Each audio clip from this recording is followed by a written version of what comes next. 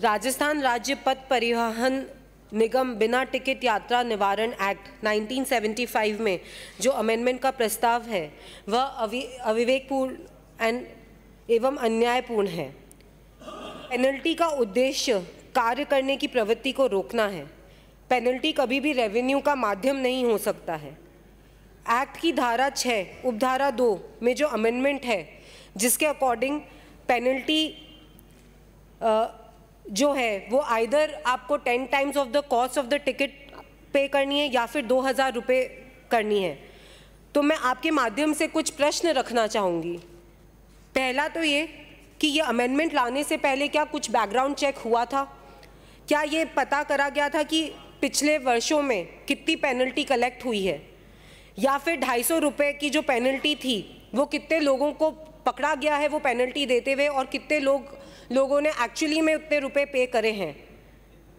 तीन साल में जो रेवेन्यू लॉस हुआ है, कितना, कितने लोग बिना टिकट के ट्रैवल करे हैं और वो रेवेन्यू लॉस को कवर करने के लिए क्या ये पेनल्टी जारी कर रहे हैं?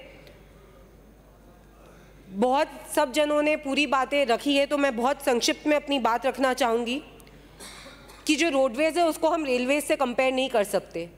रेलवे में बिना टिकट के प्लेटफॉर्म में भी हम एंटर नहीं कर सकते, लेकिन हमारे ग्रामीण क्षेत्रों में रोडवेज़ की जो बसें हैं, वो कितने ऐसी जगह पर रुकती है जहाँ पर पहले से टिकट नहीं खड़ा, खरीद सकते क्योंकि टिकट विंडो तक नहीं होते। तो उस केस में कंडक्टर ही टिकट देता है। तो ये कैसे हम बता सकेंगे कि कंडक्टर ने टिकट पेनल्टी के रूप में काटा है कि एक्चुअल में वो उसी जगह से चढ़ा है? इन सब बातों को ध्यान में रखकर एक बात मैं ये भी पूछना चाहूँगी कि इस पेनल्टी के ज़रिए क्या हम करप्शन को और बढ़ावा नहीं दे रहे? क्योंकि कोई भी इंसान दो हज़ार रुपये देने से अच्छा कि कंडक्टर को कुछ रुपए दे देगा। तो ये एक सीधा सा है। कोरोना के माध्यम में कोरोना के काल में, जिस वजह से लोगों को ऑलरेडी इतनी परेशानियाँ हो रही है, उसमें रोडवेज़ को चाहिए कि वो अपनी सर्विसेज़ बढ़ाएँ। मैं अगर मेरे क्षेत्र की बात करूँगी तो वहाँ पर मातृकुंडा एक धाम है। जहाँ पर बहुत लोग अस्थि विसर्जन के लिए जाते हैं।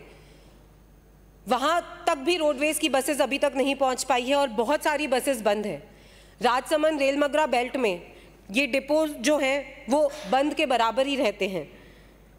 तो मैं मंत्री महोदय से ये निवेदन करना चाहूँगी कि एक तो बस सर्विसेज़ आप बढ़ाएँ, हमारे क्षेत्र में भी बसेस का थोड़ा सा आवक बढ़ाएँ और जो मैनेजमेंट फेलियर है, जो कंडक्टर का ड्यूटी है, जो जॉब है टिकट काटना, उस मैनेजमेंट फेलियर को लोगों के ऊपर पेनल्टी के दौर, रूप में ना लेकर आए।